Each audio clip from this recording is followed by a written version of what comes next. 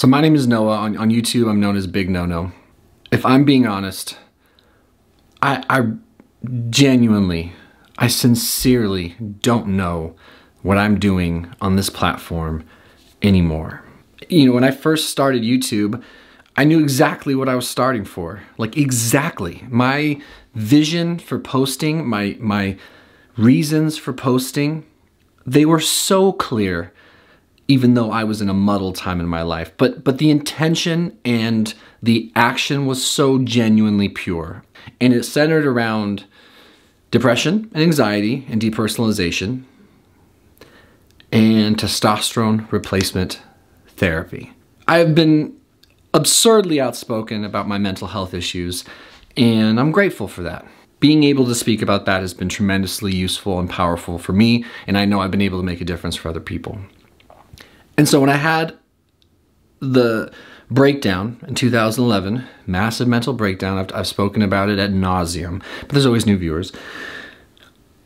I was a mess for a long time, found out I had low testosterone, I started recording. The whole goal was, will I ever get better? I don't I don't know. I kind of I didn't really think so. I was in a treatment resistant depression, suicidal, depersonalized, which meant I was in a dreamlike state.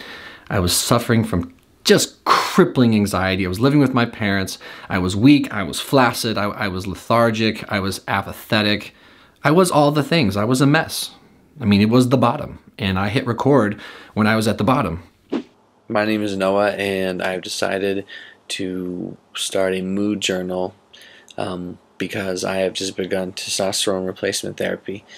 For the last two weeks, uh, since finding out I had low testosterone, I've been searching YouTube for other people uh, who have had the same. But if you have ever been through major depression, anxiety, uh, what's called the depersonalization disorder, and especially if you've ever been through um, these things in conjunction with low testosterone, I guess this video is for you. I, I did it because I was so scared that I was going to die. And when I found out via blood work by chance that I had extremely low testosterone, it was the first time I had a glimmer of hope that maybe I would be okay. And that was a very loose maybe. The idea behind filming was to maybe find one person that understood the despair that I was in. Just one. When I started this channel, it was not for fame, it was not for money, it wasn't for followers, it was to find one person who might be experiencing what I'm going through, not so I could tell them what was up, so to speak, or or what to do, but maybe they could tell me that I wasn't crazy, which I felt inherently with my mental health issues. And beyond that, that, that maybe I would be okay. That was it. And I did that. I posted a ton of videos and I realized how incredibly cathartic it was to talk about what it was like to obsess like me, to struggle with sleep like me, to be as depressed as I was. What did depression feel like for me? It just felt good to get this shit off my chest. And it felt even better to hear from you guys. It felt so good. It is likely the most meaningful thing that I will have ever contributed to the world. Sharing my mental health struggles and then my journey through them and my TRT journey. And let's see if I make it. Let's see if I survive. Let's see if I get better. But the truth is, I, I did get better. We did it. Somewhere in there, it became less about look at my journey with depression and anxiety and low testosterone and just kind of more about not wanting to lose you guys and liking your attention. We've seen my arc.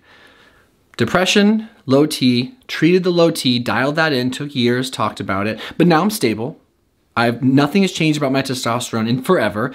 Depression wise, I haven't been dangerously severely depressed in a really long time, and I never thought that would be possible. And I'm so thankful for that. I'm so grateful for that, and I'm so happy and fulfilled that I've been able to share that with you. But, you know, sometimes my mood is better, sometimes my mood is, is a little worse. Lifestyle changes, uh, I have addiction issues, I talk about that, I get sober. Everything's going good. I, I share about it. Oh, I relapse or my mental health relapse, and I talk about it. And I, just think I just think we've done it all now. Haven't we? What's the point? My wife pointed something out to me which was really tough to hear. Um, but when I was in treatment, she pointed out that she notices when I'm doing worse, views kind of improve here. And when I'm doing better, less people watch, and she wonders if there's a, a negative correlation, a subconscious self sabotaging angle to my life when it comes to that. And she might be right. Another thing, uh, which I don't want to lie, it's been, it has been hard.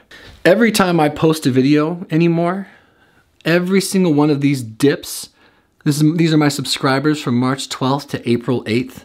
Every time I post, I lose subscribers. I try not to take that personal, but it is instructive that I don't really know why people follow me anymore. And it would kind of make sense if I'm sitting here in so many words telling you, I don't really know why I post anymore. Not really. And I kind of find myself wanting to reinvent myself on YouTube, and I feel like I can't on this channel. I somehow became a bit of a face for serious topics and mood disorders and a vulnerable voice for men.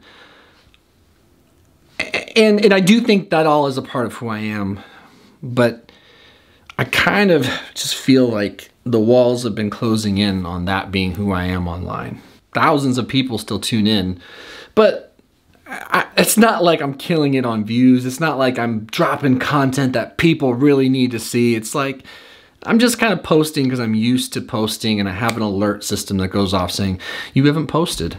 I don't just want to be the guy who, who talks about depression, who shares every time his mood dips, who's always saying the same thing about his TRT, which hasn't changed in forever. There's so much more to my life. There's so much more to who I am. I mean, there's so much laughter and light and love and humor and fitness and jokes and friendships and meals and and and other there's so much else in, that I care about. The idea of like in five years, six years, or something like that, the idea of still talking about depression and anxiety, not that it goes away, not that the community doesn't need, uh, uh, uh, uh you know, people to, to, to speak up or addiction or whatever.